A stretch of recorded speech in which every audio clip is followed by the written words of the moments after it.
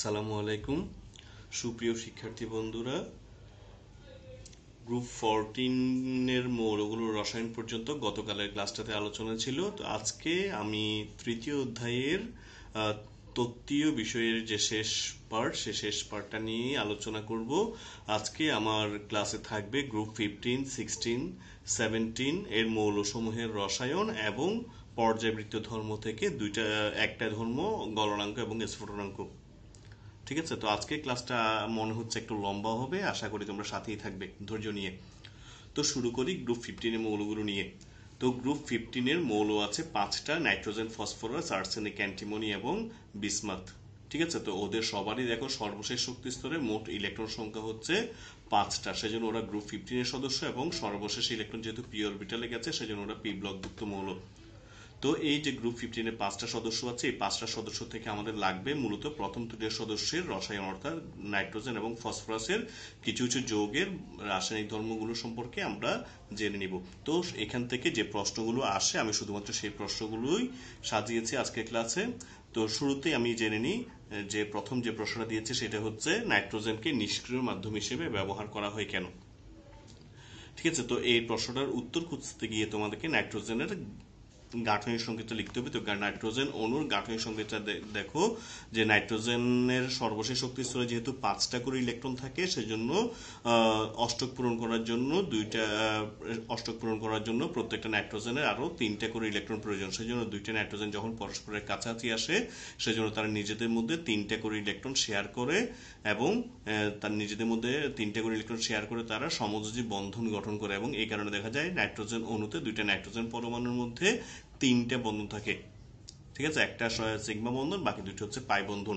যেহেতু নাইট্রোজেন অণুতে তার পরমাণুগুলোর মধ্যে তিনটা বন্ধন থাকে, সেজন্য দেখা যাচ্ছে যে এই বন্ধনগুলো ভেঙে যদি আমরা নাইট্রোজেন পরমাণুতে পরিণত করতে চাই, অর্থাৎ নাইট্রোজেনের যে কোনো বিক্রিয়ায় অংশ নিতে হলে অণু থেকে আগে পরমাণুতে পরিণত হতে হয় এবং এক্ষেত্রে আমাদের নাইট্রোজেন অণুকে যদি পরমাণুতে পরিণত করতে হয়, তাহলে তিনটা বন্ধন আমাদেরকে ভাঙতে হবে। এই তিনটা বন্ধন ভাঙতে গেলে প্রচুর পরিমাণ শক্তির প্রয়োজন হবে এবং দেখা যায় নাইট্রোজেনের বিক্রিয়ার জন্য প্রায় তিন হাজার ডিগ্রি সেলসিয়াস তাপ লাগে। অর্থাৎ নাইট্রোজেন প্রায় তিন হাজার ডিগ্রি সেলসিয়াস তাপমাত্রায় বাতাসের অক্সিজেনের সাথে বিক্রিয়া করে নাইট্রোজেনের যে অক্সাইড আছে, সেই অক্সাইডগুলো উৎপন্ন করতে পারে। কিন্তু আমরা জানি যে সাধারণ আমাদের যে বিক্রির পরিবেশ, সেই পরিবেশ থেকে এত বেশি তাপ পাওয়া সম্ভব হয় না। সেই জন্য নাইট্রোজেন সাধারণ তাপমাত্রায় অন্য কোনো পদার্থের সঙ্গে বিক্রিয়া করে না বলে নাইট্রোজেনকে আমরা নিষ্ক্রিয় মাধ্যম হিসেবে ব্যবহার করি। ঠিক আছে, তো তোমাদের মনে রাখতে হবে নাইট্রোজেন যখন শুধুমাত্র আকাশে বজ্রপাত হয়, তখন মেঘে মেঘে ঘর্ষণের কারণে প্রচুর পরিমাণে বিদ্যুৎ উৎপন্ন হয় এবং সাথে প্রচুর তাপ উৎপন্ন হয়। সেই তাপেই শুধুমাত্র নাইট্রোজেন বাতাসের অক্সিজেনের সাথে বিক্রিয়া করে নাইট্রোজেনের বিভিন্ন অক্সাইড উৎপন্ন করে। অন্য অবস্থায় নাইট্রোজেন সাধারণত অন্য কোনো বিক্রিয়কের প্রতি আকৃষ্ট হয় না বলে নাইট্রোজেনকে নিষ্ক্রিয় মাধ্যম হিসেবে ব্যবহার করা হয়। এরপর আসা যাক নাইট্রোজেনের চেয়ে ফসফরাসের সক্রিয়তা বেশি কেন? অর্থাৎ নাইট্রোজেন ফসফরাস দুজনই একই গ্রুপের মৌল, কিন্তু নাইট্রোজেনের তুলনায় ফসফরাসের সক্রিয়তা বেশি। তো এর কারণ আমরা প্রথমেই বলেছিলাম যে নাইট্রোজেন অণুতে তার পরমাণুগুলোর মধ্যে তিন বন্ধন থাকায় এই বন্ধন ভেঙে যদি আমরা নাইট্রোজেন পরমাণুতে পরিণত করতে, তখন আমাদের প্রায় প্রায় তিন হাজার ডিগ্রি সেলসিয়াস তাপমাত্রা প্রয়োজন হবে। কিন্তু সাধারণ পরিবেশ থেকে এত বেশি তাপ পাওয়া সম্ভব হয় না বলে নাইট্রোজেনকে আমরা নিষ্ক্রিয় মাধ্যম হিসেবে ব্যবহার করি। কিন্তু দেখা যায় ফসফরাসের অণুগুলো সাধারণত যে ফসফরাসের যে দুইটা রূপভেদ আছে, লোহিত ফসফরাস এবং শ্বেত ফসফরাস তার মধ্যে লোহিত ফসফরাসের অণু সংকেতটা দেখো পি ফোর তাহলে পি ফোর ফসফরাসের অণুগুলো যেহেতু পি ফোর চতুস্থলকী আকারে অবস্থান করে, এবং এই জন্য দেখা যায় যে ফসফরাসের অণুগুলোতে বন্ধন কোণের মান কম হয়, ফসফরাসের অণুগুলোর মধ্যে পরমাণুগুলোর মধ্যে বিকর্ষণ বেশি হয়, এবং এই কারণে ফসফরাস অনেক বেশি সক্রিয় হয়। দেখো, নাইট্রোজেনের অণুগুলোতে তার পরমাণুগুলোর মধ্যে একশো আশি ডিগ্রি কোণ থাকে যে কারণে তাদের মধ্যে বন্ধন কোণ বেশি অর্থাৎ বন্ধন দূরত্ব বেশি বলে এক্ষেত্রে আমরা বলব তাদের পরমাণুগুলোর মধ্যে বিকর্ষণ কম হয় এবং বিকর্ষণ কম হলে তাদের স্থায়িত্ব বেশি। সেই জন্য নাইট্রোজেনের অণুগুলোতে আহ, অণু থেকে পরমাণুতে পরিণত করতে গেলে বেশি পরিমাণ শক্তির প্রয়োজন হয়। কিন্তু ফসফরাসের অণুগুলো যেহেতু চতুস্থলকীয় আকারে অবস্থান করে, সেজন্য তাদের মধ্যে বন্ধন কোণের পরিমাণ কম হয় বলে ফসফরাসের অণুগুলোর মধ্যে যে পরমাণু আছে, তাদের মধ্যে, তাদের ইলেকট্রনগুলোর মধ্যে বিকর্ষণ বেশি হয় এবং এই কারণে ফসফরাস বেশি সক্রিয় হয় এবং এই কারণে ফসফরাস সাধারণ তাপমাত্রায় বাতাসের অক্সিজেনের সাথে বিক্রিয়া করে ফসফরাসের বিভিন্ন অক্সাইড উৎপন্ন করতে পারে। ঠিক আছে? তাহলে এরপর আরেকটা সহজ প্রশ্নে আসি আমরা। নাইট্রোজেনের যোজনে তিন হলেও ফসফরাসের যোজনে তিন পাঁচ উভয়ই হতে পারে। তো তোমাদের যখন এই ধরনের প্রশ্নগুলো আছে, তোমরা খুব সহজে আনসার করতে পারবে। মনে রাখবে যে- যে সকল পরমাণুর ক্ষেত্রে ডি অরবিটাল অস্তিত্ব আছে। তাদের বেলা একাধিক যোজনী দেখা যায়, যাদের ক্ষেত্রে ডি অরবিটাল নেই, তাদের ক্ষেত্রে যোজনী শুধুমাত্র একটাই দেখায়। তো এই প্রশ্নটা দেখে তোমরা নিশ্চয়ই বুঝতে পারছ যে নাইট্রোজেনের যোজনী শুধু একটা বলছে, কিন্তু ফসফরাসের যোজনী দুইটা। তার মানে আমরা নাইট্রোজেন ইলেকট্রোমিনাসে দেখব যে এখানে কোনো ডি অরবিটালের অস্তিত্ব নেই, কিন্তু ফসফরাসের বেলায় ডি অরবিটালের অস্তিত্ব আছে। আসা যাক নাইট্রোজেন এবং ফসফরাসের ইলেকট্রোমিনাসে দেখো, নাইট্রোজেন ইলেকট্রোমিনাস লিখে আমরা দেখতে পাচ্ছি যে তার সর্বশেষ শক্তি স্তরে তিনটা বিজোড় ইলেকট্রন আছে, সেজন্য তার যোজনী তিন। ঠিক আছে, তোমরা জানো যে অধাতুগুলোর ক্ষেত্রে সর্বশেষ শক্তি স্তরে যতটা বিজোড় ইলেকট্রন থাকে তাদের যোজনী তত। তো আমরা দেখতে পাচ্ছি নাইট্রোজেনের সর্বশেষ শক্তি স্তরে তিনটা বিজোড় ইলেকট্রন আছে বলে নাইট্রোজেনের যোজনী তিন। কিন্তু আমরা জানি দ্বিতীয় শক্তি স্তরের মধ্যে কোনো ডি অরবিটালের অস্তিত্ব নেই, অর্থাৎ টু ডি অরবিটাল বলে কিছুই নেই। সেজন্য নাইট্রোজেন তার অষ্টক সম্প্রসারণ করতে পারে না বলে নাইট্রোজেনের যোজনী শুধুমাত্র একটাই হয়। কিন্তু ফসফরাসের বেলায় দেখা যাচ্ছে, যদি আমরা তার সর্বশেষ স্তরে ইলেকট্রোমিয়াসে দেখি, যে স্বাভাবিক অবস্থায় দেখতে পাচ্ছি তার সর্বশেষ শক্তি স্তরের মধ্যে তিনটা বিজুর ইলেকট্রন আছে three P X one three P Y one এবং থ্রি পি জেড ওয়ান যেহেতু তিনটে বিজুর ইলেকট্রন আছে, সেজন্য ফসফরাসের স্বাভাবিক অবস্থায় যোজনী হচ্ছে তিন। কিন্তু যেহেতু ফসফরাসের থ্রি ডি অরবিটালটা ফাঁকা, সেজন্য আমরা বলতে পারি যে ফসফরাসকে যদি আমরা উদ্দীপিত করি, তাহলে দেখা যাবে তার থ্রি এস থেকে একটা ইলেকট্রন লাভ দিয়ে থ্রি ডি এক্স ওয়াই অরবিটালে চলে যাবে। অর্থাৎ থ্রি এস থেকে একটা ইলেকট্রন যদি লাভ দিয়ে থ্রি ডি এক্স ওয়াই অরবিটালে চলে যায়, তখন সেক্ষেত্রে তার সর্বশেষ শক্তি স্তরে বিজুর ইলেকট্রনের সংখ্যা হবে পাঁচটা। ঠিক আছে? তো যেহেতু ফসফরাসের উদ্দীপিত অবস্থায় সর্বশেষ শক্তি স্তরে পাঁচটা বিজুর ইলেকট্রন থাকে, সেজন্য আমরা বলতে পারি যে ফসফরাসের যোজনী পাঁচ হতে পারে। ঠিক আছে? তাহলে নাইট্রোজেনের ডি অরবিটাল না থাকার কারণে নাইট্রোজেন শুধুমাত্র একটা যোজনী দেখায়, কিন্তু ফসফরাসের ডি অরবিটাল থাকার কারণে ফসফরাস তিন, পাঁচ, দুইটা যোজনী দেখাতে সক্ষম হচ্ছে। ঠিক আছে তাহলে এটার বর্ণনা দেওয়া আছে, তোমরা পড়ে নিও, আশা করি পারবে। এরপর আসা যাক, আরেকটা প্রশ্ন এনসিএল থ্রি গঠিত হলো এনসিএল ফাইভ গঠিত হয় না কেন? অর্থাৎ নাইট্রোজেন ট্রাইক্লোরাইড গঠিত হলেও নাইট্রোজেন NCl3 থ্রি গঠিত হলেও NCl5 ফাইভ সম্ভব হয় না কেন? অর্থাৎ নাইট্রোজেন ট্রাইক্লোরাইড গঠিত হলেও নাইট্রোজেন পেন্টাক্লোরাইড গঠন করা সম্ভব হয় না কেন? তো এটা আমার আগের প্রশ্নের উত্তরের মধ্যে নিশ্চয় পেয়ে যাচ্ছ যে নাইট্রোজেনের যোজনী তিন। দেখো, এই যে NCl3 থ্রি নাইট্রোজেন ট্রাইক্লোরাইডটা দিয়েছে, সেখানে আমরা দেখতে পাচ্ছি নাইট্রোজেনের যোজনী হচ্ছে তিন। যেহেতু একটা নাইট্রোজেন তিনটা ক্লোরিনের সাথে যুক্ত হয়েছে সেই জন্য আমরা বলতে পারি নাইট্রোজেনের যোজনী তিন। তো আমরা জানি নাইট্রোজেনের সর্বশেষ শক্তি স্তরে তিনটে বিজুর ইলেকট্রন থাকে বলে নাইট্রোজেনের যোজনী সাধারণত তিন হয় এবং এক্ষেত্রে এই তিনটে বিজুর ইলেকট্রন দিয়ে নাইট্রোজেন তিনটা ক্লোরিনের সঙ্গে সমযোজী বন্ধন গঠন করতে পারে। এই জন্য এনসিএল থ্রিটা গঠন করা তার পক্ষে সম্ভব হয়। কিন্তু নাইট্রোজেনের যেহেতু ডি অরবিটাল নেই সেই জন্য নাইট্রোজেনের পক্ষে অষ্টক সম্প্রসারণ করা সম্ভব হয় না। অর্থাৎ এস থেকে ইলেকট্রনকে অন্য কোনো অরবিটালে পাঠিয়ে পাঁচটা বিজুর ইলেকট্রন তৈরি করা তার পক্ষে সম্ভব হয় না। সেই জন্য নাইট্রোজেনের যোজনে যেহেতু পাঁচ সম্ভব নয়, সেজন্য নাইট্রোজেন পেন্টাক্লোরাইড গঠন করা সম্ভব হয় না। তাহলে এখান থেকে একটা ব্যতিক্রম আছে যে নাইট্রোজেন প্যান্টাক্লোরাইড অর্থাৎ নাইট্রোজেন যদি পাঁচ না হলেও কীভাবে নাইট্রোজেন পেন্টক্সাইড এটা কীভাবে গঠিত হয়, তো এটা একটু ব্যতিক্রম, তো তোমাদেরকে এটা মনে রাখতে হবে। তো এইটা বোঝার জন্য তোমাদেরকে এই চিত্রটা একটু ভালো করে বুঝে নিতে হবে। তাহলে দেখো এক্ষেত্রে আমি নাইট্রোজেন পেন্টক্সাইডের ডাইনাইট্রোজেন পেন্টক্সাইডের একটা গাঠনিক সংকেত দিয়েছি, লুইস গঠন সহ। তাহলে এক্ষেত্রে দেখো নাইট্রোজেন, যেখানে নাইট্রোজেন, দেখো এখানে দুইটা আমরা দেখতে পাচ্ছি একটা নাইট্রোজেন, দুইটা অক্সিজেনের সঙ্গে তিনটা সমযোজী বন্ধন দিয়ে যুক্ত হয়েছে। অর্থাৎ নাইট্রোজেনের সর্বশেষ শক্তি স্তরে যে তিনটা বিজুর ইলেকট্রন ছিল, দেখো এখানে পিঙ্ক কালার করে দিয়েছে, যে তিনটে বিজুর ইলেকট্রন ছিল, সে তিনটে বিজুর ইলেকট্রন দিয়ে তিন দুইটা অক্সিজেনের সঙ্গে সে তিনটা সমযোজী বন্ধন গঠন করছে। আবার নাইট্রোজেনের সর্বশক্তি স্তরে যে টু এস, যে দুইটা মুক্তজোর ইলেকট্রন ছিল, সেই মুক্তজোর ইলেকট্রনগুলো দিয়ে নাইট্রোজেন পার্শ্ববর্তী অক্সিজেনের সঙ্গে একটা সন্নিবেশ বন্ধন গঠন করছে। তাহলে এই নাইট্রোজেন যেভাবে দুইটা অক্সিজেনের সঙ্গে সমযোজী বন্ধন এবং একটা অক্সিজেনের সঙ্গে সন্নিবেশ বন্ধন গঠন করে, পার্শ্ববর্তী নাইট্রোজেনও ঠিক একইভাবে, দেখো, দুইটা অক্সিজেনের সঙ্গে সমযোজী বন্ধন এবং একটা অক্সিজেনের সঙ্গে সন্নিবেশ বন্ধন গঠন করছে। যেহেতু সে সমযোজী বন্ধনের সময় তার তিনটে ইলেকট্রন ব্যবহার করছে এবং সন্নিবেশ বন্ধনের সময় দুইটি ইলেকট্রন ব্যবহার করছে, সেজন্য আমরা বলতে পারি যে নাইট্রোজেনের সমযোজ্যতা হচ্ছে তিন এবং সন্নিবেশ যোজ্যতা হচ্ছে দুই। অর্থাৎ সমযোজী বন্ধনে সে তিনটে ইলেকট্রন ব্যবহার করছে বলে, তার সমযোজ্যতা হচ্ছে তিন এবং সন্নিবেশ বন্ধনে দুইটা ইলেকট্রন ব্যবহার করছে বলে, তার সন্নিবেশ যোজ্যতা হচ্ছে দুই। অর্থাৎ তিন এবং দুই, দুইটা মিলিয়ে তার মোট যোজনী হচ্ছে পাঁচ। ঠিক আছে? তার উত্তরটা তোমরা দেখে নাও যে নাইট্রোজেন প্রতিটি নাইট্রোজেন পরমাণু দুইটি অক্সিজেনের সঙ্গে তিনটি সমযোজী বন্ধন তৈরি করার পর এদের জৈজতা স্তরে যে মুক্তজোড় ইলেকট্রনগুলো থাকে সেগুলো আরেকটি অক্সিজেন পরমাণুকে দিয়ে সে সন্নিবেশ বন্ধন গঠন করে। তাই নাইট্রোজেনের সমযোজ্যতা তিন এবং সন্নিবেশ যোজ্যতা দুই মিলিয়ে তার সর্বমোট যোজনী পাঁচ হয়। এই জন্য নাইট্রোজেন ডাইনাইট্রোজেন পেন্টক্সাইড এটা গঠন হতে পারে। ঠিক আছে? তো এরপর আমরা আসি আরেকটা প্রশ্নে। দেখো পিসিএল ফাইভ গঠিত হলো পিআই ফাইভ গঠিত হয় না কেন? অর্থাৎ ফসফরাস প্যান্টাক্লোরাইড গঠিত হলো ফসফরাস প্যান্টায়োরাইড এটা গঠন করা সম্ভব নয় কেন? যদিও আমরা জানি ফসফরাসের যোজনী পাঁচ হওয়া সম্ভব। ঠিক আছে? তাহলে ফসফরাসের যোজনী পাঁচ হওয়া সম্ভব হলে ফসফরাস প্যান্টাক্লোরাইড গঠিত হবে, কিন্তু ফসফরাস প্যান্টায়োরাইড গঠিত হবে না কেন? তাহলে এক্ষেত্রে আমরা বলতে পারি যেহেতু ফসফরাস তৃতীয় পর্যায়ের মৌল, সেজন্য ফসফরাসের শক্তি স্তরে তিনটা শক্তি স্তর আছে এবং ক্লোরিনও তৃতীয় পর্যায়ের মৌল। সেজন্য আমরা বলতে পারি ফসফরাস এবং ক্লোরিন এগুলো যেহেতু পাশাপাশি মৌল, সেজন্য ওদের আকারের মধ্যে যদিও সামান্য একটু পার্থক্য থাকে, কিন্তু দুজনের আকার প্রায় সমান। সেজন্য দেখা যায় একটা ফসফরাসের চারপাশে পাঁচটা ক্লোরিন অবস্থান নিতে পারে। অর্থাৎ পাঁচটা ক্লোরিন, পাঁচটা সন্নিবেশ, সমযোজী বন্ধন গঠন করে পিসিএল ফাইভ গঠন করতে পারে এবং একটা ফসফরাসের চারপাশে পাঁচটা ক্লোরিনের অবস্থান নেওয়া সম্ভব হয়। কিন্তু আয়োডিন যেহেতু পঞ্চম পর্যায়ের মৌল, অর্থাৎ আয়োডিনের পাঁচটা শক্তি স্তর আছে, সেজন্য আমরা বলব যে ফসফরাসের তুলনায় আয়োডিনের আকার হচ্ছে বড়। সেজন্য একটা ছোট পরমাণুর চারপাশে পাঁচটা বড় পরমাণু স্থান নেওয়াটা সম্ভব হয় না। যদিও যৌক্তিক দিক থেকে এটা সম্ভব, কিন্তু আমরা জানি যে ফসফরাস যেহেতু ছোট, সেজন্য ফসফরাসের চারপাশে পাঁচটা আয়োডিন জায়গা নিতে পারে না। অর্থাৎ স্থানিক বাধা যেটাকে বলে স্টেরিক বাধা, সেই স্টেরিক বাধার কারণে একটা ফসফরাসের চারপাশে পাঁচটা আয়োডিন জায়গা নিতে পারে না বলে ফসফরাস প্যান্টায়োডেট গঠন করা সম্ভব হয় না।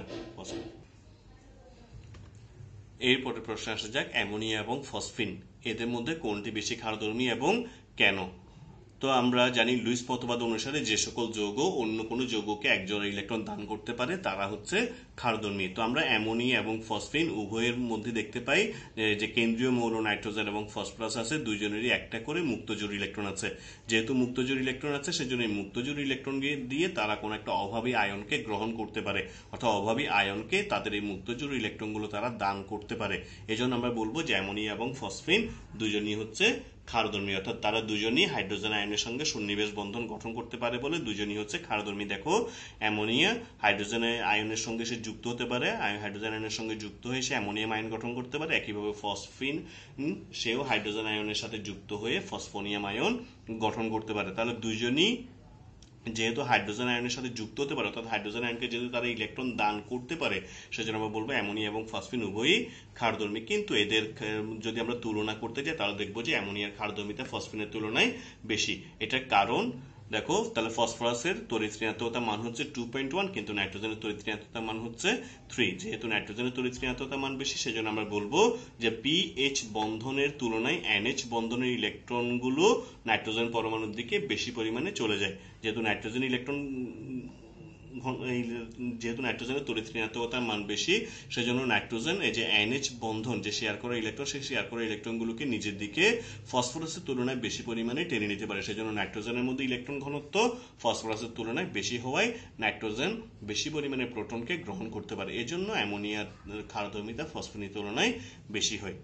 ঠিক আছে? তো আরেকটা গুরুত্বপূর্ণ প্রশ্ন, সেটা হচ্ছে অ্যামোনিয়া এবং ফসফিন, দুইটার মধ্যে কোনটির বন্ধন কোণ বেশি এবং কেন? তো আমরা বলব যে এক্ষেত্রে অ্যামোনিয়া এবং ফসফিনের মধ্যে অ্যামোনিয়ার বন্ধন কোণ বেশি।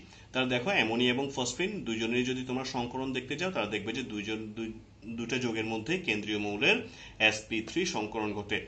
যেহেতু sp3 থ্রি সংকরণ ঘটে, সেজন্য আমরা জানি যে এসপি থ্রি সংকরণ ঘটলে বন্ধন কোণ হয় একশো নয় ডিগ্রি পঁচিশ মিনিট। সেজন্য আমরা বলতে পারি যে দুইটা যোগের মধ্যে বন্ধন কোণ একশো নয় ডিগ্রি পঁচিশ মিনিট হওয়ার কথা। কিন্তু যেহেতু উভয়ে অণুতেই কেন্দ্রীয় মৌলের একটা করে মুক্তজোড় ইলেকট্রন থাকে, সেজন্য বিকর্ষণের কারণে বন্ধন কোণ কমে যায়। এক্ষেত্রে বন্ধন কোণ কমলে দুজনেরই একই পরিমাণ কমার কথা ছিল। অর্থাৎ অ্যামোনিয়ার বেলায় বন্ধন কোণ যত, ফসফিনের বেলায় বন্ধন কোণ তত হওয়ার কথা ছিল। কিন্তু আমরা দেখতে পাচ্ছি যে অ্যামোনিয়ার ক্ষেত্রে বন্ধন কোণ একশো সাত ডিগ্রি হলেও ফসফিনের ক্ষেত্রে বন্ধন কোণের পরিমাণ চুরানব্বই ডিগ্রি হয়। তাহলে এটার কারণ আমরা দেখি যে এক্ষেত্রে যেহেতু নাইট্রোজেনের আকার ছোট এবং তার তড়িৎ ঋণাত্মতা মান বেশি, সেজন্য এনএইচ বন্ধনে শেয়ার করা ইলেকট্রনগুলো নাইট্রোজেন নিজের দিকে বেশি পরিমাণে টেনে নিয়ে যায়। যখন নাইট্রোজেন, এই যে বন্ধনজোড় ইলেকট্রনগুলোকে যখন নিজের দিকে টেনে নিয়ে যাবে, তখন ওই ইলেকট্রনগুলোর মধ্যে দূরত্ব কমে যায়। দূরত্ব কমে গেলে তোমরা নিশ্চয়ই জানো যে বন্ধনজোড় ইলেকট্রনগুলোর মধ্যে দূরত্ব কমে গেলে এদের মধ্যে বিকর্ষণ বেড়ে যাবে। সেজন্য এই বন্ধনজোড় ইলেকট্রনগুলো পরস্পর থেকে কিছুটা দূরে সরে যায় এবং এই কারণে তাদের মধ্যে বন্ধন কোণ একশো সাত ডিগ্রি হয়ে যায়। কিন্তু ফসফরাসের ক্ষেত্রে আকার বড় হওয়া এবং তার তরিত্রিনাত্মতা মান যেহেতু কম, সেজন্য পিএইচ বন্ধনের শেয়ারকৃত ইলেকট্রনগুলো ফসফরাস নিজের কাছাকাছি অতটা টেনে নিতে পারে না। সেজন্য বন্ধনজোড় ইলেকট্রনগুলোর মধ্যে বিকর্ষণ কম বলে বন্ধন কোণ কম হয়। ঠিক আছে? বন্ধন কোণের পরিমাণ চুরানব্বই ডিগ্রি হয়।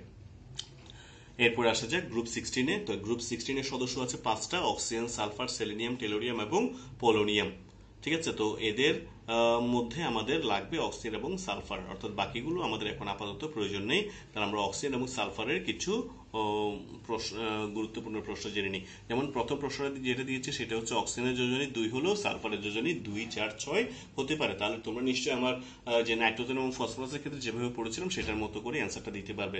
যেহেতু অক্সিজেনের যোজনী একটাই। সেজন্য আমরা বলতে পারি অক্সিজেনের ক্ষেত্রে ডি অরবিটাল থাকবে না, কিন্তু সালফারের যোজনে যেহেতু একাধিক, সেজন্য সালফারের ক্ষেত্রে ডি অরবিটালের অস্তিত্ব আছে। তাহলে নিশ্চয়ই উত্তরটা বুঝে গেছো? তাহলে আমরা অক্সিজেনের ইলেকট্রোমেশ লিখে দেখতে পাচ্ছি, তার সর্বশেষ শক্তি স্তরে দুইটা বিজুর ইলেকট্রন আছে, সেজন্য অক্সিজেনের যোজনী হচ্ছে দুই। যেহেতু দ্বিতীয় শক্তি স্তরে ডি অরবিটাল নেই, সেজন্য তার পক্ষে ইলেকট্রন অথবা অষ্টক সম্প্রসারণ করা সম্ভব হয় না। অর্থাৎ পিএক্স বা এস থেকে ইলেকট্রনকে অন্য কোনো অরবিটালে পাঠানো সম্ভব হয় না বলে অক্সিজেন শুধুমাত্র যোজনী একটাই দেখে তার যোজনী মান হচ্ছে দুই। কিন্তু সালফারের ক্ষেত্রে আমরা দেখতে পাই যে তার সর্বশেষ শক্তি স্তরে স্বাভাবিক অবস্থায় দুইটা বিজির ইলেকট্রন থাকে, সেজন্য তার যোজনী স্বাভাবিক অবস্থায় দুই। এবং যদি আমরা ফসফরাসকে উদ্দীপিত করি, তখন থ্রি পি এক্স থেকে একটা ইলেকট্রন থ্রি ডি এক্স ওয়াইতে চলে যায়। তখন সেতে তার সর্বশেষ শক্তি স্তরে চারটা বিজির ইলেকট্রন থাকে, তার যোজনী চার হয়। যদি আরও বেশি পরিমাণে উদ্দীপিত করি, তখন থ্রি এস থেকে একটা ইলেকট্রন থ্রি ডি ওয়াই জেডে চলে যায়, তখন সেইতে তার বিজুর ইলেকট্রন সংখ্যা হয় ছয়টা এবং এ কারণে তার যোজনী ছয় হয়। তাহলে এক্ষেত্রে সালফার পরিবর্তনশীল যোজনী দেখাচ্ছে, এটার মূল কারণ হচ্ছে সালফারের মধ্যে ডি অরবিটালের অস্তিত্ব আছে। ঠিক আছে? তাহলে এটার বর্ণনাটা তোমরা নোট করে নিও, আশা করি পারবে। ঠিক আছে? তোমরা একটু স্ক্রিনে দেখে নাও, আশা করি তোমরা বর্ণনাটা লিখে নিতে পারবে। এরপর আসা যাক অক্সিজেন ডাইফ্লোরাইড গঠিত হলো অক্সিজেন হ্যাক্সাফ্লোরাইড গঠিত হয় না কেন? অর্থাৎ ওয়েব টু গঠিত হলো ওয়েব সিক্সটা গঠিত হয় না কেন? তাহলে তোমরা এখান থেকে নিশ্চয় উত্তরটাও পেয়ে যাচ্ছ যে যারা একটু চালাক, তারা নিশ্চয় উত্তরটা ধরে ফেলেছো। দেখো, তাহলে ওএফ টু এই যোগের মধ্যে অক্সিজেন যোজনী দুই আর ওয়েব সিক্স এখানে অক্সিজেন যোজনী হচ্ছে ছয়। তো তোমরা এর আগে প্রশ্নটাতে পেয়েছ যে অক্সিজেনের যোজনী শুধুমাত্র দুই হওয়া সম্ভব অক্সিজেন যোজনী ছয় হওয়া সম্ভব নয়। সেজন্য ওয়েব টু গঠিত হলো ওয়েব সিক্স গঠন করা সম্ভব নয়। ঠিক আছে, তো উত্তরটা তোমরা দেখে নাও যে অক্সিজেন সর্বশেষ শক্তি স্তরে দুইটা বিজুর ইলেকট্রন থাকা এর যোজনী দুই কিন্তু তাই দুইটা ফ্লোরিনের সঙ্গে এই দুইটি ইলেকট্রন শেয়ার করে সে ওএফ টু গঠন করতে পারে। কিন্তু টু ডি অরবিটাল না থাকা সম্প্রসারণ করা তার পক্ষে সম্ভব হয় না বলে ওএফ সিক্স গঠন করাটা সম্ভব হয় না। এরপর আসা যাক, আরেকটা গুরুত্বপূর্ণ প্রশ্ন যে প্রশ্নটা তোমরা তোমাদের গ্রুপগুলোতে এর আগে এসেছিল, আশা করে, তখন বলেছিলাম যে পরে দিব। তো আজকে তোমরা এই প্রশ্নের উত্তরটা দেখে নাও, যে পানি এবং হাইড্রোজেন সালফাইডের মধ্যে কোনটির বন্ধন কোন বেশি এবং কেন? ঠিক আছে? তো আমি একটু আগে যে ফসফিন এবং অ্যামোনিয়ার ক্ষেত্রে যেটা বলেছিলাম সেটার মতোই অনেকটা একই রকম। দেখো অ্যামোনিয়া পানি এবং হাইড্রোজেন সালফাইড দুইজনের মধ্যে আমরা বলতে পারি যে পানিতে বন্ধন কোণের পরিমাণ বেশি। যদিও পানি এবং হাইড্রোজেন সালফাইড দুইটাতেই কেন্দ্রীয় মৌলের এসপি সংকরণ ঘটে সেই জন্য আমরা বলতে পারি দুজনের বন্ধন কোণ একশো নয় ডিগ্রি পঁচিশ মিনিট হওয়ার কথা। কিন্তু সেক্ষেত্রে দেখো যে অক্সিজেন এবং সালফার দুজনেরই দুইটা করে মুক্তজোড় ইলেকট্রন থাকে, সেজন্য মুক্তজোড় ইলেকট্রনগুলো বিকর্ষণের কারণে বন্ধন কোণের পরিমাণ কমে যায় এবং এক্ষেত্রে দুজনের বন্ধন কোণ একই রকমই হওয়ার কথা ছিল। কিন্তু এক্ষেত্রে আমরা দেখতে পাই যে পানির ক্ষেত্রে বন্ধন কোণের পরিমাণ একশো চার ডিগ্রি পাঁচ মিনিট হলেও, একশো চার দশমিক পাঁচ ডিগ্রি হলেও হাইড্রোজেন সালফারের ক্ষেত্রে বন্ধন কোণের পরিমাণ হয় যে বিরানব্বই দশমিক এক ডিগ্রি। এখন প্রশ্ন হচ্ছে কেন? তাহলে এটা কারণ হচ্ছে অক্সিজেনের আকার ছোট এবং তার তরিত্রিনাত্মতা মান যেহেতু বেশি, সেজন্য ওবেজ বন্ধনে শেয়ারকৃত ইলেকট্রনগুলোকে অক্সিজেন নিজের দিকে টেনে নিয়ে আসে এবং এই কারণে যে অক্সিজেন যখন এই শেয়ার করা ইলেকট্রনগুলোকে নিজের দিকে টেনে নিয়ে যায়, তখন এই ইলেকট্রনগুলোর মধ্যে দূরত্ব কমে যায় এবং দূরত্ব কমে গেলে বিকর্ষণ বেড়ে যাবে। সে কারণে এই বন্ধনজোড় ইলেকট্রনগুলো পরস্পর থেকে একটা বেশি কোণ নিয়ে অবস্থান নেয় এই কারণে বন্ধন গুণের পরিমাণ একশো চার দশমিক পাঁচ ডিগ্রি হয়। কিন্তু সালফার আকার ছোট এবং তার তরিৎক্রিয়াতা কম বলে অ্যাসিড বন্ধনের ইলেকট্রনগুলোকে সালফার নিজের দিকে অত বেশি টেনে নিতে পারে না। সে কারণে তার বন্ধনজোড় ইলেকট্রনগুলোর মধ্যে বিকর্ষণ কম বলে বন্ধন গুণের পরিমাণ বিরানব্বই দশমিক এক ডিগ্রি হয়। এরপর আসা যাক আমাদের জন্য সর্বশেষ যে টপিকসটা আমি আলোচনা করব, সেটা হচ্ছে গণনাঙ্ক এবং স্ফুটনাঙ্কের পরিবর্তন। তো এই ক্ষেত্রে তোমাদের পরীক্ষায় দুইটা প্রশ্ন আসা। একটা হচ্ছে থ্রি ডি ব্লকভুক্ত মৌলগুলো গণনাঙ্ক এবং স্ফুটনাঙ্কের পরিবর্তন, আর একটা হচ্ছে তৃতীয় পর্যায়ের মৌলগুলোর গণনাঙ্ক এবং স্ফুটনাঙ্কের পরিবর্তন। তো আমি এক্ষেত্রে দেখো একটা গ্রাফের মধ্যে দেখিয়েছি যে গণনাঙ্ক এবং স্ফুটনাঙ্ক একটা গণনাঙ্ক এবং একটা স্ফুটনাঙ্কের থ্রি ডি ব্লকভুক্ত মৌলগুলোর গণনাঙ্ক এবং স্ফুটনাঙ্কের একটা গ্রাফ দেওয়া আছে। সেই গ্রাফের মধ্যে আমরা দেখতে পাচ্ছি, গ্রাফটা কিন্তু কি সরলরৈখিকভাবে উপরের দিকে উঠে নাই। ঠিক আছে? এখানে দেখা যাচ্ছে কিছু জিকজেক রাখা। তাহলে এ ধরনের জিকজেক হওয়ার কারণ কি? ঠিক আছে? আমরা দেখতে পাচ্ছি যে স্ক্যান্ডিয়াম, যদি আমরা গ্রাফটা একটু লক্ষ্য করি, তাহলে স্ক্যান্ডিয়াম থেকে টাইটানিয়াম, ভ্যানাডিয়াম ক্রোমিয়াম। এ পর্যন্ত গণনাঙ্ক বাড়ছে, এরপরে ধীরে ধীরে ম্যাঙ্গানিজের দিক থেকে কমছে, এরপর আবার বাড়ছে কোবার পর্যন্ত বাড়ছে, এরপর ধীরে ধীরে আবার নিকেল, কপার, জিঙ্ক পর্যন্ত গণনাঙ্ক পরিমাণ কমে গেছে। তাহলে এ ধরনের ব্যতিক্রম হওয়ার কারণ। তাহলে যেহেতু এগুলো ধাতু, সেজন্য তোমাদেরকে এক্ষেত্রে গলনাঙ্ক স্ফুটনাঙ্ক ব্যাখ্যা করতে হবে তাদের ধাতব বন্ধন দিয়ে। এবং তোমরা নিশ্চয় জানো যে ধাতব বন্ধন হচ্ছে কি, ধাতুর টুকরের মধ্যে তার পরমাণুগুলোর মধ্যে যে বন্ধন থাকে সেই বন্ধন। অর্থাৎ ধাতু পরমাণুগুলো তাদের সর্বশেষ শক্তি স্তরের যে ইলেকট্রন থাকে সেই ইলেকট্রনগুলো ত্যাগ করে তারা ক্যাটায়নে পরিণত হয় এবং এই যে ত্যাগকৃত ইলেকট্রনগুলো মুক্তভাবে পুরো ধাতুর খণ্ডের মধ্যে চলাচল করতে পারে এবং এই মুক্ত ইলেকট্রনগুলোর চলাচল যত মুক্ত সঞ্চালনশীল মুক্ত ইলেকট্রন সংখ্যা যত বেশি হয়, ধাতব বন্ধন তত বেশি শক্তিশালী হয় এবং ধাতব বন্ধন যত বেশি শক্তিশালী হবে, তাদের পরমাণুগুলো পরস্পরের তত কাছাকাছি থাকবে এবং তাদের গণনাঙ্ক স্ফুটনাঙ্কের মান তত বাড়বে। তো এক্ষেত্রে যদি আমরা থ্রি ডি ব্লকভুক্ত মৌলগুলোর গণনাঙ্ক এবং স্ফুটনাঙ্ক যদি তাদের পারমাণবিক সংখ্যার বৃদ্ধির সাথে সাথে পরিবর্তনটা যদি লক্ষ্য করি, তাহলে দেখব যে যেহেতু এগুলো ধাতু, তাহলে তাদের গণনাঙ্ক, স্ফুটনাঙ্ক তাদের ধাতব বন্ধনে অংশগ্রহণকারী সঞ্চরণশীল ইলেকট্রনের সংখ্যার উপর নির্ভর করবে। এবং যদি ধাতব মৌলের ইলেকট্রোমিনাসের সর্বশেষ অরবিটালটা যদি অর্ধপূর্ণ বা পরিপূর্ণ থাকে, তখন তার স্থায়িত্ব বেড়ে যায় এবং যখন স্থায়িত্ব বাড়বে, তখন সেক্ষেত্রে সে ধাতব বন্ধনের জন্য প্রয়োজনীয় ইলেকট্রনগুলো দিবে না শেয়ার করবে না। ঠিক আছে? যেহেতু প্রয়োজনীয় ইলেকট্রন দিবে না, সেই জন্য সেক্ষেত্রে ধাতব বন্ধনে অংশগ্রহণকারী সঞ্চরণশীল ইলেকট্রনের সংখ্যা কমে যাবে এবং সেক্ষেত্রে গলনাঙ্ক স্ফুটনাঙ্কের মান কমে যাবে। তো আমরা যদি গ্রাফটা লক্ষ্য করি, তাহলে দেখব যে স্ক্যান্ডিয়াম থেকে ভ্যানাডিয়াম পর্যন্ত মৌলগুলোর ধাতব বন্ধনে অংশগ্রহণকারী সঞ্চরণশীল ইলেকট্রনের সংখ্যা বেশি বাড়তে থাকে বলে তাদের গণনাঙ্ক স্ফুটনাঙ্কের মান বাড়তে থাকে। অর্থাৎ স্ক্যান্ডিয়ামের সর্বশক্তি স্তরে সঞ্চরণশীল ইলেকট্রন সংখ্যা ছিল তিনটা। এরপরে স্ক্যান্ডিয়ামের পরে টাইটানিয়ামের বেলায় চারটা, ক্রোমিয়াম স্ক্যান্ডিয়াম, টাইটানিয়ামের পরে ভ্যানাডিয়ামের বেলায় হচ্ছে পাঁচটা। অর্থাৎ সঞ্চরণশীল ইলেকট্রন সংখ্যা যত বাড়ছে, সেক্ষেত্রে তাদের গণনাঙ্ক স্ফুটনাঙ্কের মান তত বাড়ছে। এবং ক্রোমিয়ামের বেলায় সর্বশেষ শক্তি স্তরে যেহেতু আমরা জানি ক্রোমিয়ামের ইলেকট্রোমিনাসে সর্ব ইলেকট্রোমিনাস হচ্ছে three D five, four S one.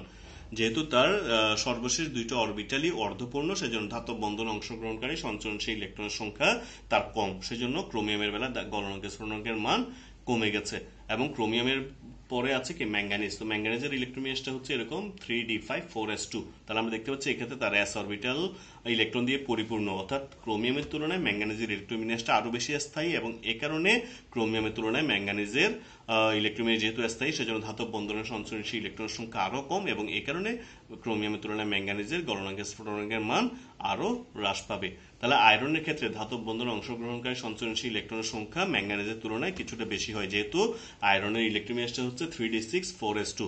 যেহেতু ডি অরবিটালটা অর্ধপূর্ণ নয়, সেজন্য এক্ষেত্রে আমরা বলতে পারি সেক্ষেত্রে সঞ্চরণশীল ইলেকট্রনের সংখ্যা কিছুটা বেশি থাকে বলে ম্যাঙ্গানিজের তুলনায় আয়রনের স্ফুটনাঙ্কের মান বাড়ে। এবং এক্ষেত্রে আমরা দেখব আয়রনের পরে আছে কোবাল্ট নিকেল, কপার, জিঙ্ক ইত্যাদি এর পরের মৌলগুলো থ্রি ডি অরবিটালটা ধীরে ধীরে কি পূর্ণতার দিকে যেতে থাকে। অর্থাৎ আয়রনের বেলা হচ্ছে থ্রি ডি সিক্স এরপরে কোবাল্টের বেলা থ্রি ডি সেভেন নিকেলের বেলা থ্রি ডি এইট কপারের বেলা থ্রি ডি টেন জিঙ্কের বেলায় থ্রি ডি টেন যেহেতু যেহেতু থ্রি ডি অরবিটালটা ক্রমান্বয়ে পূর্ণতার দিকে যেতে থাকে, সেজন্য তারা ধাতব বন্ধনে সঞ্চরণশীল ইলেকট্রন অর্থাৎ ইলেকট্রন অতটা শেয়ার করে না ধাতব বন্ধনের জন্য। সেজন্য ধাতব বন্ধনের সঞ্চরণশীল ইলেকট্রনের সংখ্যা কমে যায় বলে তাদের গণনাঙ্কের স্ফুটনাঙ্কের মান কমতে থাকে। তো আসা যাক, এরপরে আমাদের সর্বশেষ তৃতীয় পর্যায়ে মৌলগুলো, গলনাঙ্ক এবং স্ফুটনাঙ্কের পরিবর্তন। তো এক্ষেত্রে তোমরা নিশ্চয়ই তৃতীয় পর্যায়ে যে মৌলগুলো আছে, sodium magnesium aluminium, silicon, phosphorus, sulphur, chlorine, argon, এদের বেলায় নিশ্চয় গ্রাফটা দেখতে পাচ্ছ। নীলটা হচ্ছে তাদের গলনাঙ্কের গ্রাফ এবং লাল যেটা আছে, সেটা হচ্ছে তাদের স্ফুটনাঙ্কের গ্রাফ। তো এক্ষেত্রে আমরা দেখতে পাচ্ছি, তাদের লেখচিত্রটা হচ্ছে জিগজ্যাগ অর্থাৎ সরলরৈখিক নয়। তো এক্ষেত্রে আমরা যেহেতু সোডিয়াম, ম্যাগনেসিয়াম, অ্যালুমিনিয়াম এই তিনটা মৌল ধাতু, সেজন্য এদের গণনাঙ্ক স্ফুটনাঙ্কের পরিবর্তে আমাদের ব্যাখ্যা করতে হবে। তাদের ধাতব বন্ধনে শক্তিমত্তা দিয়ে, অর্থাৎ ধাতব বন্ধনে সঞ্চরণশীল ইলেকট্রনের সংখ্যা দিয়ে। দেখো, তৃতীয় পর্যায়ে মৌলগুলোর ক্ষেত্রে আমরা দেখতে পাই যে সোডিয়াম থেকে অ্যালুমিনিয়াম পর্যন্ত ধাতব বন্ধনে অংশগ্রহণকারী সঞ্চরণশীল ইলেকট্রন সংখ্যা যেহেতু বেশি, সেজন্য নিউক্লিয়াসের ধনাত্মক চার্জ বৃদ্ধির সাথে সাথে মুক্ত ইলেকট্রনগুলোর উপর নিউক্লিয়াসের আকর্ষণও বাড়তে থাকে, অর্থাৎ সোডিয়ামের বেলায় নিউক্লিয়াসের মধ্যে দেখো প্রোটন হচ্ছে কয়টা? দশটা। ম্যাগনেসিয়ামের বেলায় হচ্ছে এগারোটা, অ্যালুমিনিয়ামের বেলা হচ্ছে তেরোটা। তাহলে নিউক্লিয়াসের মধ্যে ধনাত্মক চার্জ যত বাড়বে, এই মুক্ত ইলেকট্রনগুলোর উপরে নিউক্লিয়াসের আকর্ষণও তত বাড়তে থাকবে এবং এই কারণে গলনাঙ্কের স্ফুটনাঙ্কের মান বাড়তে থাকে। তাহলে দেখো, সোডিয়ামের বেলা সঞ্চরণশীল ইলেকট্রন, প্রত্যেকটা সোডিয়াম যেহেতু একটা ইলেকট্রন ত্যাগ করে, সেজন্য সোডিয়াম পরমাণুতে সঞ্চরণশীল ইলেকট্রনের সংখ্যা কম। ঠিক আছে? সোডিয়ামের টুকরার মধ্যে সঞ্চরণশীল ইলেকট্রন সংখ্যা কম থাকে ম্যাগনেশিয়াম দুইটা করে ইলেকট্রন ত্যাগ করে বলে। দেখো ম্যাগনেশিয়ামের টুকরার মধ্যে সঞ্চরণশীল ইলেকট্রন সংখ্যা সোডিয়ামের তুলনায় বেশি থাকে। সেজন্য সোডিয়ামের তুলনায় ম্যাগনেসিয়ামের ধাতব বন্ধন বেশি শক্তিশালী এবং এই কারণে সোডিয়ামের তুলনায় ম্যাগনেসিয়াম একটু বেশি শক্ত এবং এই কারণে তার স্ফোটনাঙ্ক, গলনাঙ্কের স্ফোটনাঙ্ক বেশি। তো এবার দেখা যায়, অ্যালুমিনিয়ামের ক্ষেত্রে একটা অ্যালুমিনিয়াম যেহেতু তিনটে ইলেকট্রন ত্যাগ করে, সেজন্য অ্যালুমিনিয়ামের মধ্যে সঞ্চরণশীল মুক্ত ইলেকট্রনের সংখ্যা সোডিয়াম এবং ম্যাগনেসিয়ামের তুলনায় বেশি। সে কারণে অ্যালুমিনিয়াম, সোডিয়াম এবং ম্যাগনেসিয়ামের তুলনায় আরও বেশি শক্ত। শক্ত বলে আমরা বলতে পারি এদের অণুগুলোর মধ্যে, এদের পরমাণুগুলোর মধ্যে ধাতব বন্ধ যেহেতু আরও বেশি শক্তিশালী, সেজন্য এদের গণনাঙ্গের স্ফুটনাঙ্কের মান আরও বেশি হয়। অর্থাৎ সোডিয়াম থেকে ম্যাগনেসিয়ামের গলনাঙ্কের স্ফুটনাঙ্ক বেশি, ম্যাগনেশিয়াম থেকে অ্যালুমিনিয়ামের আরও বেশি, যেটা তোমরা গ্রাফের মধ্যে দেখতে পাচ্ছ যে সোডিয়াম থেকে ম্যাগনেশিয়াম বেশি, ম্যাগনেশিয়ামের চেয়ে অ্যালুমিনিয়ামের বেশি। দেখো যে সোডিয়াম ম্যাগনেসিয়াম বেশি ম্যাগনেসিয়ামের থেকে অ্যালুমিনিয়ামের আরও বেশি। এরপর আসা যাক সিলিকন। তো আমরা যদি সিলিকনের অণুটার দিকে যদি তাকাই, তাহলে দেখি সিলিকন অণুতে সিলিকন সিলিকন বন্ধনের মাধ্যমে যে ত্রিমাত্রিক ক্যালাসটা গঠিত হয়, তাতে অনেকগুলো সমযোজী বন্ধন ভাঙতে হয় বলে সিলিকনের গলনাঙ্গের স্ফুটনাঙ্কের মান আরও বেশি তো তোমরা নিশ্চয়ই সিলিকনের গঠনটা দেখতে পাচ্ছ।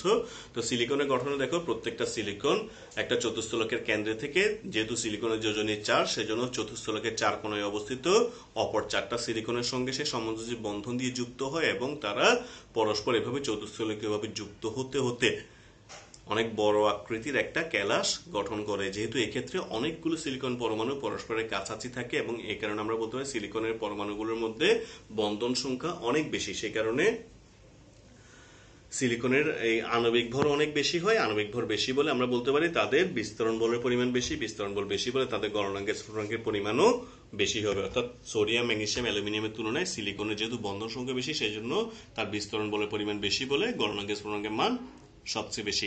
এরপর আসা যাক ফসফরাস। তো ফসফরাসের অনুসংকেত হচ্ছে পি ফোর সেই জন্য আমরা বলতে পারি যে সিলিকনের তুলনায় ফসফরাসের অণুতে কম সংখ্যক পরমাণু থাকায় এর আণবিক ভরও কম হয়, আর আণবিক ভর যদি কম হয়, তো তোমরা নিশ্চয় জানো যে বিস্তারণ বলের পরিমাণ কম হয়। সেই জন্য বিস্তারণ বল কম বলে তার পরমাণুগুলোর মধ্যে বন্ধন দুর্বল হয়। বন্ধন দুর্বল হয় বলে বন্ধন ভাঙতেও কম শক্তির প্রয়োজন হবে। সেজন্য ফসফরাসের গলনাঙ্গের স্ফুটনাঙ্ক সিলিকনের তুলনায় কম। দেখো, ফসফরাসের পরমাণুগুলোর মধ্যে, দেখো, মাত্র প্রত্যেকটা ফসফরাস তার যোজনী যেহেতু তিন, সেজন্য তিনটা ফসফরাস অনুর সঙ্গে যুক্ত। হয় এখানে যে পিঙ্ক কালার যে বলগুলো দেওয়া আছে, সেগুলো হচ্ছে ফসফরাস।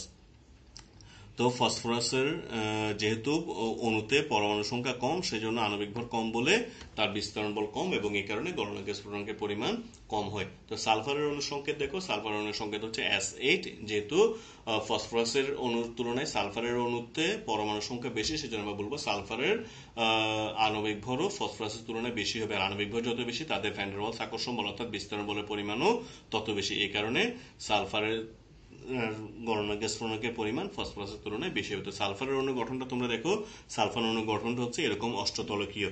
অর্থাৎ প্রত্যেকটা সালফার যে স্বাভাবিক অবস্থায় যেহেতু তাদের যোজনী দুই, সেজন্য তাদের দুইটা বিজুর ইলেকট্রনের সাহায্যে অপর দুইটা সালফারের সঙ্গে দুইটা সমাজীবন্ধন গঠন করে এভাবে অষ্টতলকীয়ভাবে অবস্থান করে। ফসফরাসের তুলনায় সালফারের অণুতে পরমাণু সংখ্যা বেশি বলে আণবিক ভর বেশি এবং বিস্তারণ বল বেশি হয় বলে সালফারের গলনাঙ্ক স্ফুটনাঙ্কের পরিমাণ বেশি। আবার দেখো, ক্লোরিনের অণু সংকেত হচ্ছে সিএল টু সেজন্য আমরা বলতে পারি এক্ষেত্রে মাত্র দুইটা পরমাণু একসঙ্গে যুক্ত থাকে, সেজন্য কম সংখ্যক পরমাণু থাকায় ক্লোরিন অণুগুলোর মধ্যে বিস্তারণ বলের পরিমাণ অনেক কম এবং এই কারণে তাদের গলনাঙ্ক স্ফুটনাঙ্কের পরিমাণ অনেক কম হয়। দেখো, ক্লোরিনের অণুতে মাত্র দুইটা পরমাণু আছে, সেজন্য ক্লোরিনের আণবিক ভর যেহেতু কম, সেজন্য তার গণনাকে স্ফুরণকের পরিমাণ অনেক কম। আর এরপরে আছে আর্গন, তো তোমরা নিশ্চয় জানি যে আর্গন যেহেতু নিষ্ক্রিয়, সেজন্য সে কারোর সঙ্গে যুক্ত হয় না বলে তার আণবিক ভর সবচেয়ে কম হবে এবং এই কারণে আর্গনের বেলায় গণনাকে স্ফুরণকের পরিমাণ সবচেয়ে কম হবে, যেটা তোমরা গ্রাফের মধ্যে দেখতে পাচ্ছ। ঠিক আছে? তো আশা করি তোমরা এই যে এই পড়াগুলো অনুশীলন করলে তোমাদের তৃতীয় অধ্যায়ে আর কোনো সমস্যা হবে না। তো তোমরা এইগুলো একটু মনোযোগ দিয়ে পড়াশোনা করবে। আর যদি কোনো সমস্যায় পড়ো, তাহলে আমাকে অবশ্যই জানাবে। ঠিক আছে? তো তোমরা পারলে এগুলো নোট করে ফেলবে। আর যদি না পারো, তাহলে আমাকে পিডিএফটা দিতে বলব আগামীকালের ক্লাসে। ঠিক আছে? তো তোমাদের সর্বাঙ্গীন মঙ্গল মঙ্গল কামনায় আজকের মতো এখানে শেষ করছি। খুদাহাফিজ